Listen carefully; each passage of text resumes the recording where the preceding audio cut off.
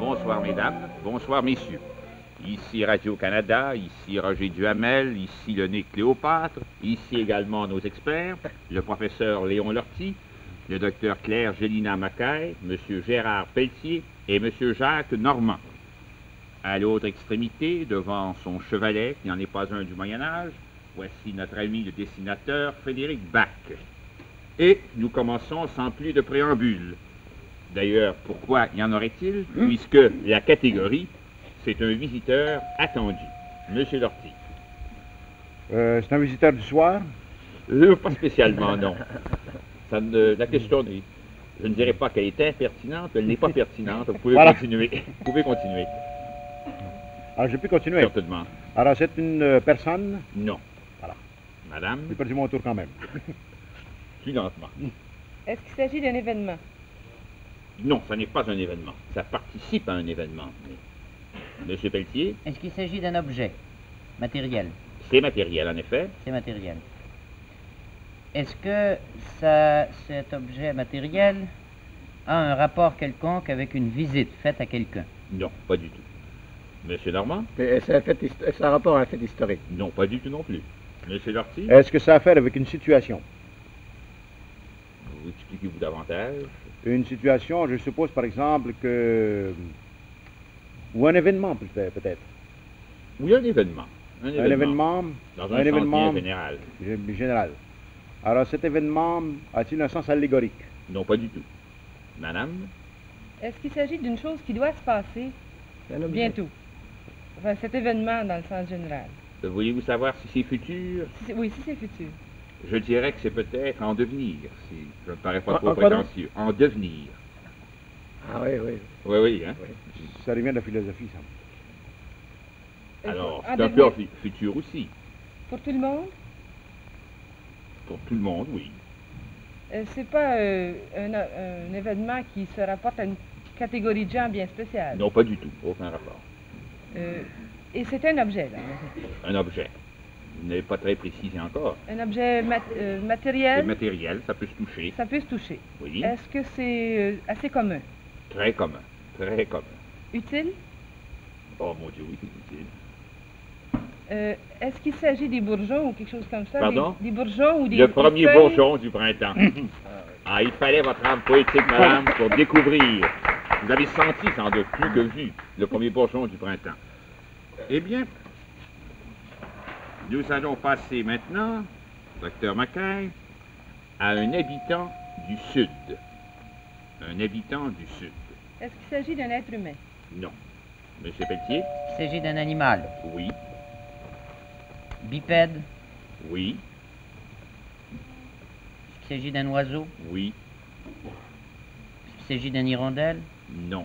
Elle ne fait pas le printemps au reste. Est-ce que c'est un oiseau qui, qui ne vole pas? Vous voulez savoir si c'est un oiseau qui ne Est-ce que vole c'est un, pas? est-ce que c'est un, Il y a un des oiseau qui ne poissons vole qui ne pas? nagent pas, vous savez. Oui, il y en a qui grimpent aux arbres. Oui. Il y en a qui vont. Enfin, oui, il y a des Euh, choses ensemble. C'est un animal qui vit dans le sud? Oui, exactement. Est-ce que je vous ai demandé si c'était un, un oiseau? Vous avez dit oui? Oui, j'avais dit à M. Pelletier. Qui ne vole pas. Il vole, oui. Il vole. Je regrette. Monsieur? Est-ce que c'est un oiseau qui vit principalement dans l'Amérique du Sud? Oui. Est-ce que cet oiseau est particulier, par exemple, à un pays de l'Amérique du Sud? Non, pas un pays. Madame, À l'Amérique du Sud en général. disons région des Andes, si vous voulez, qui traverse plusieurs pays. Est-ce que c'est un condor? C'est un condor.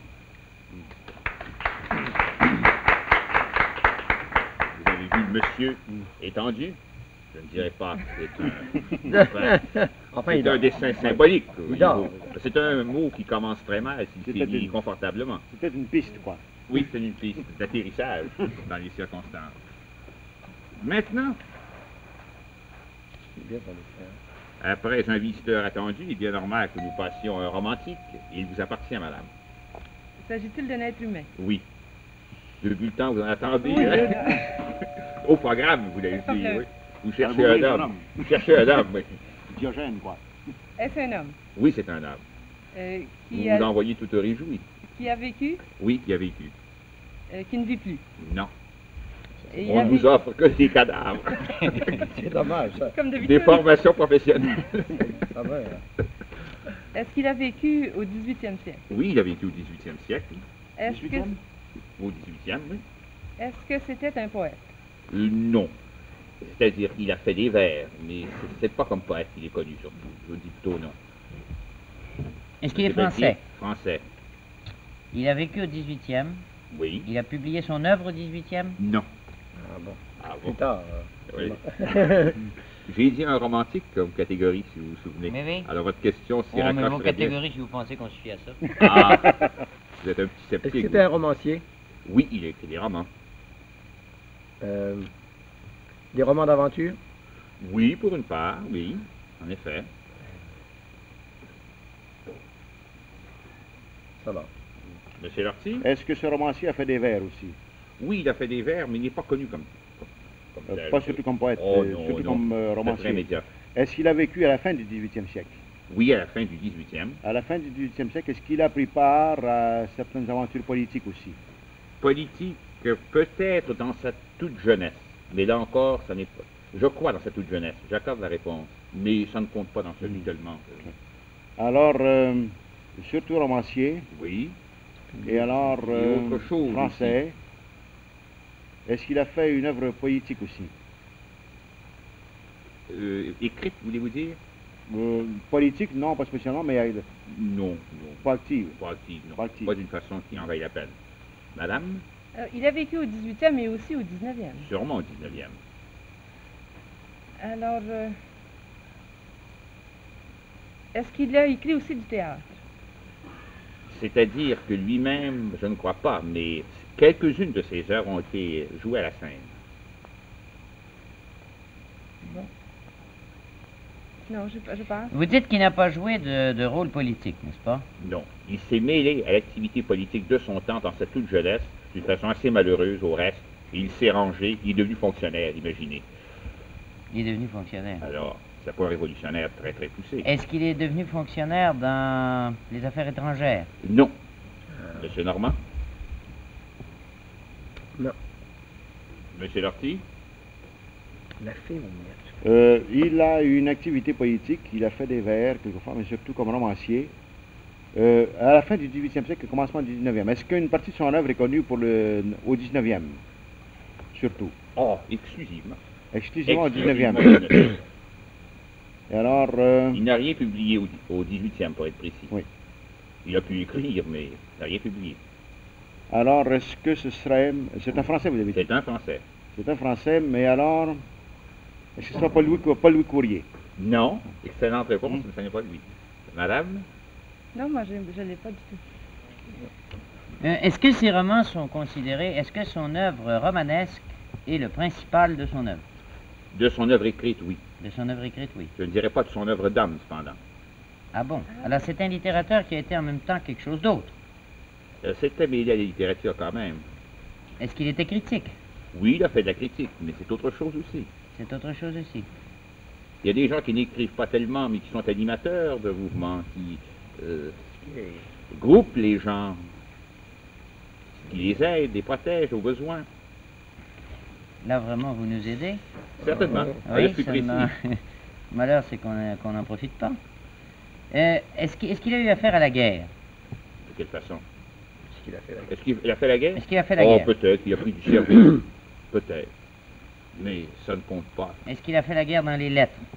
Oui, dans les lettres, évidemment. Il a fait la guerre dans les lettres. Certainement. Ça a été un militant de l'école romantique? Ça a été un militant, mais avec plus de modération que les autres. Il les conseillait surtout. Il est conseiller. Je vous ai pas dit son nom, c'est bien juste. Il était plus vieux qu'eux, évidemment. Oui, oui, plus vieux qu'eux. Il était même né en 1780, pour être précis. Il était plus vieux que le père Hugo. Ben oui, né en 1802. Il a 22 ans. Non, j'y suis pas. Monsieur Normand, Monsieur Lortie, dernier tour. Maintenant, il y a Benjamin Constant. Non, ce Non. n'est pas Benjamin Constant. Parce qu'il y a Trilby qui est là, puis je peux pas me rappeler le non nom de l'auteur. Vous avez Non, toutes les œuvres, elles sont là, Ça, les œuvres. Ça me Alors, ça l'animateur du groupe romantique à l'Arsenal, Charles Nodier. Voilà. Charles Nodier. Alors, je suis très heureux. Le dessin complet. Pour nos ça me Ça, c'est téléspectateurs. bête, justement, parce que nous ne, nous ne pourrions pas mettre le nom sur l'auteur de toutes ces œuvres-là que nous connaissons. Là, ça me fait pas de peine de pas l'avoir trouvé, mais je le connaissais pas, les gars. Ah bon? Alors, pour sa famille, vous sentez moins en susceptibilité avec eux. Je suppose qu'il me le rendait bien. Ils sortaient assez peu vers la fin. Oui.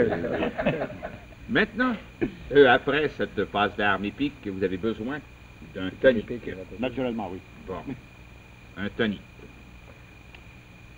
Monsieur Lortie? Alors, ce tonique, euh, mais est-ce que c'est au sens strict du mot?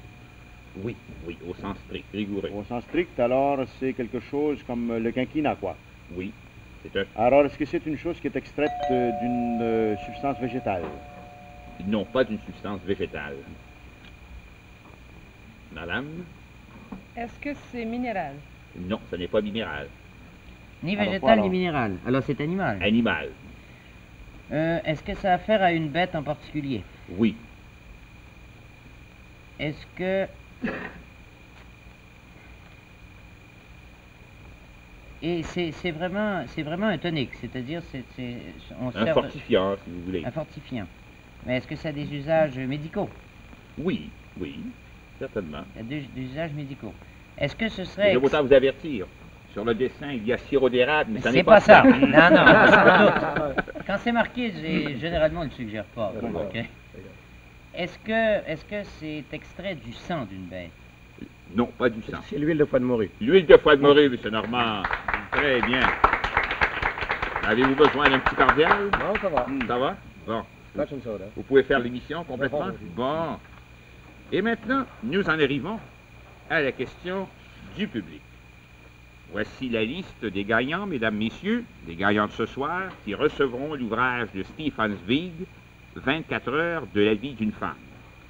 Cette semaine, le Grand Prix va à Mme Albert Baudouin, 67-19 rue Louis-Aymon, Montréal, qui recevra un enregistrement de l'école de ballet de Boccherini par l'Orchestre Philharmonique de Londres sous la direction d'Antal Dorati. La semaine prochaine, les envoyeurs des dix meilleures questions recevront en prix la grande meute de Paul Vialard. Le Grand Prix, comme vous le savez, est décerné chaque semaine à l'envoyeur de la question posée à nos experts.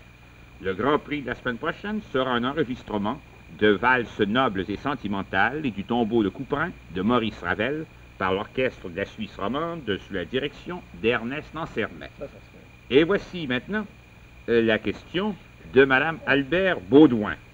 Il s'agit, Monsieur Normand, qui est notre plus récent vainqueur, de découvrir une soustraction.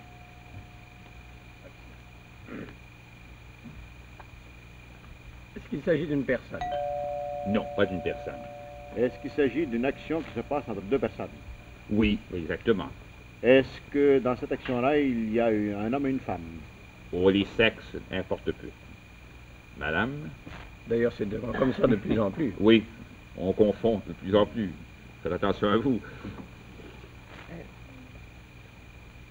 Est-ce qu'il s'agit d'une... euh, Est-ce qu'on a... euh, Vous avez demandé s'il s'agissait d'une action, M. Norty? Oui, oui. Qui se passait en- entre hommes et femmes.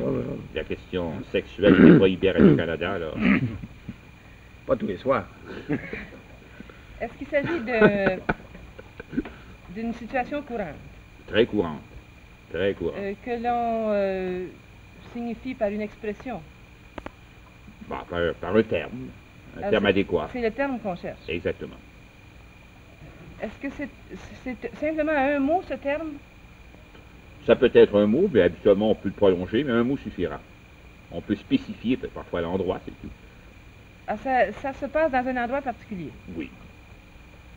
Euh, toujours à la même place? Oh non, non. Non, Non. pas à plusieurs endroits. Monsieur Pelletier?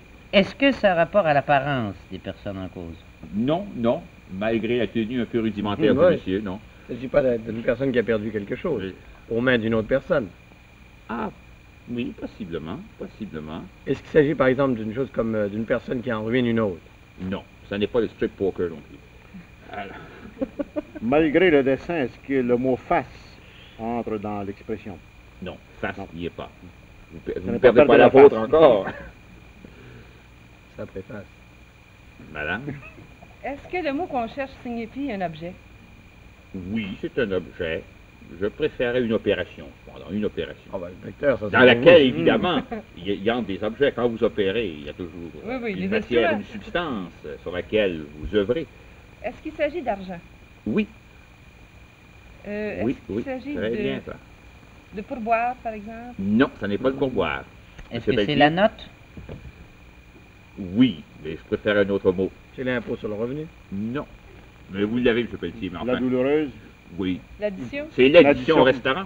Et c'est pourquoi, très spirituellement, nous avons dit une soustraction.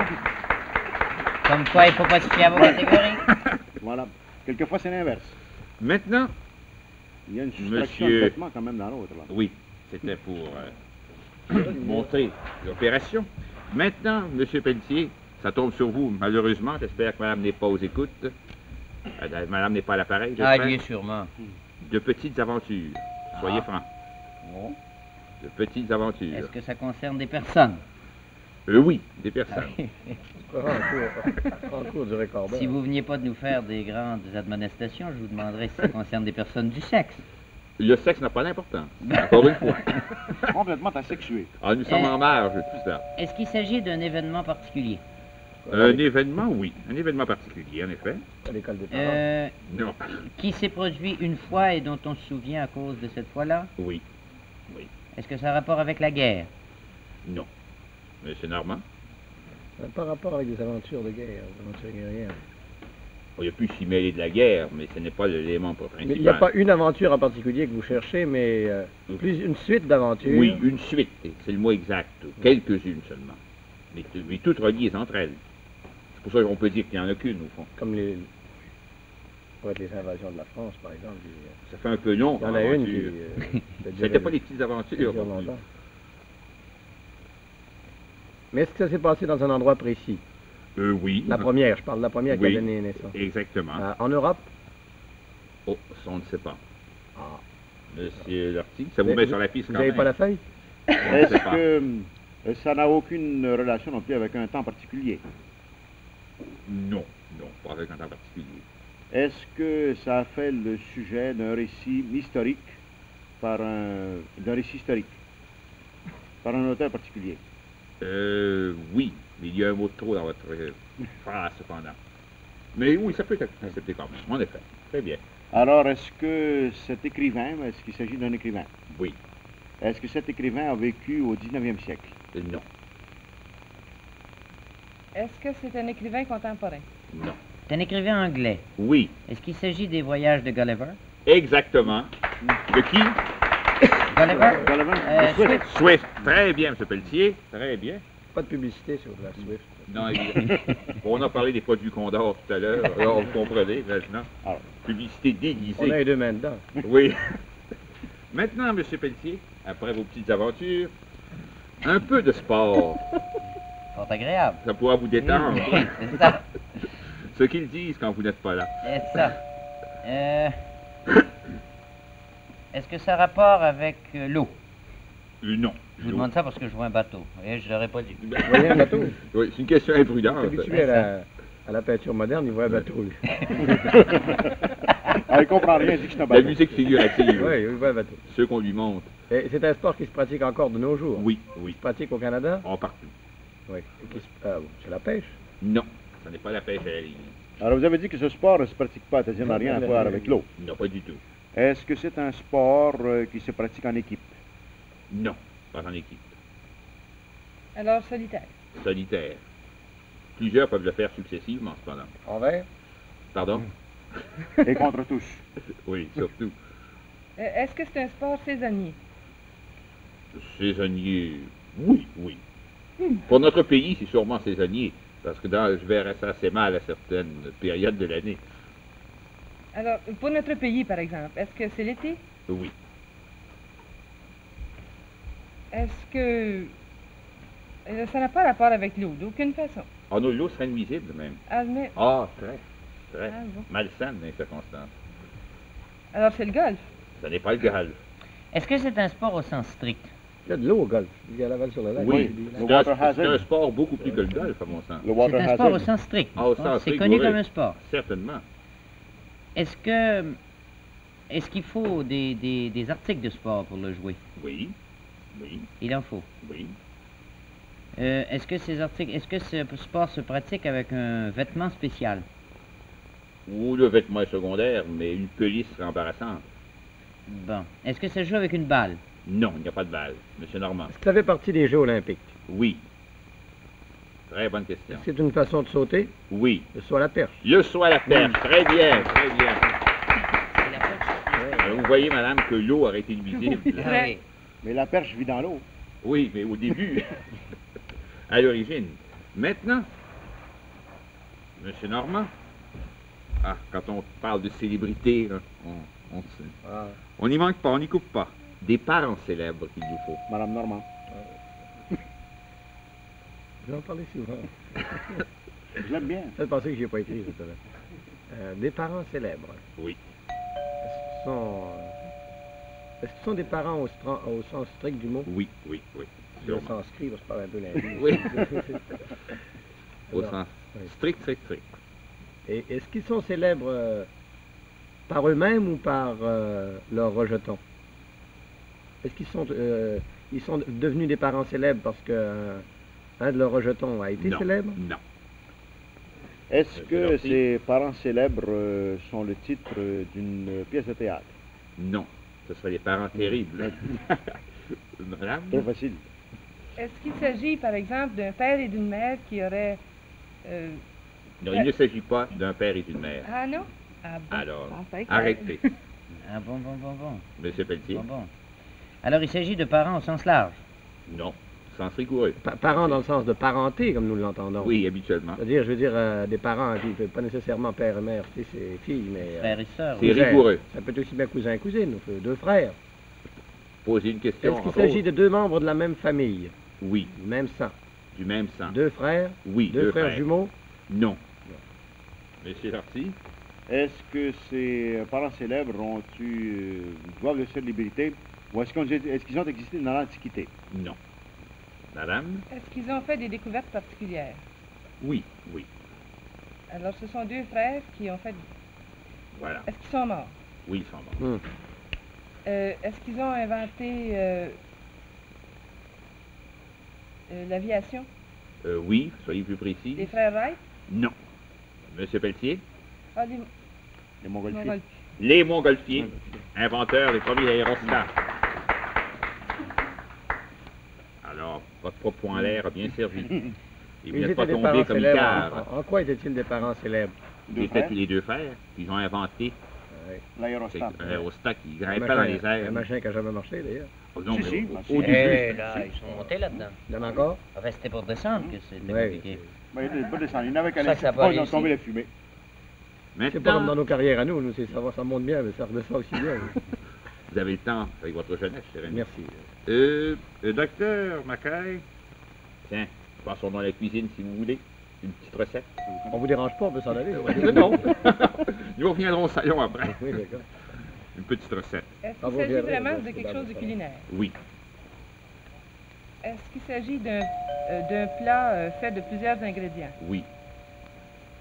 Euh, Est-ce qu'il s'agit de quelque chose d'assez courant, Oui, très courant. Euh, qu'on mange euh, au Canada? Ah oui, avec des ustensiles habituels. Euh, Est-ce que l'ingrédient principal euh, est de la viande? Non, ce n'est pas de la viande, mais il peut y en avoir. Mais ce n'est pas l'ingrédient principal.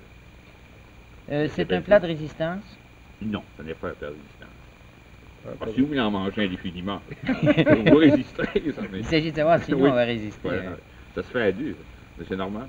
C'est- C'est plutôt un plat léger, c'est plutôt Oui, exactement. genre comme un hors-d'œuvre. Voilà. Est-ce que c'est un hors-d'œuvre? Non. non, ce n'est pas un hors d'œuvre. Est-ce que c'est un entremets? Euh, sucré? Non. non. Ce n'est pas sucré. Ah, ce n'est pas sucré? Non. Euh, c'est c'est salé. Salé, oui. Le salant, sûrement. Nécessairement. Bon, alors, ce n'est pas un hors d'œuvre, Non. ni un... Est-ce que c'est de la soupe? Non. Monsieur Bon. Pelletier? Est-ce qu'il rentre des légumes dans la fabrication? Est-ce que ces légumes euh, tiennent la place principale? Oui. Oui. Je le disais tantôt, on y met parfois de la viande, ça n'est pas indispensable. Bon. Ce sont les légumes qui comptent davantage. Est-ce que Il y entre du vin? Du vin, j'avoue pas en connaissance. Est-ce que c'est un mélange de légumes? Oui. C'est pas une macédoine? Non, ça n'est pas de Macédoine. Très bien.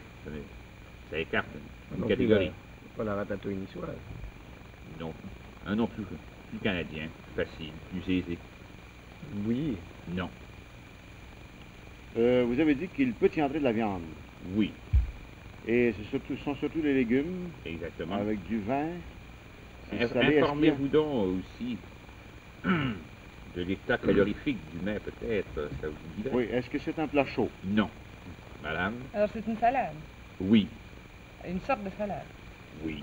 Vous l'avez, mais enfin, soyons perfectionnistes. Salade russe? Non. Une salade jardinière? C'est une salade- Monsieur Pelletier?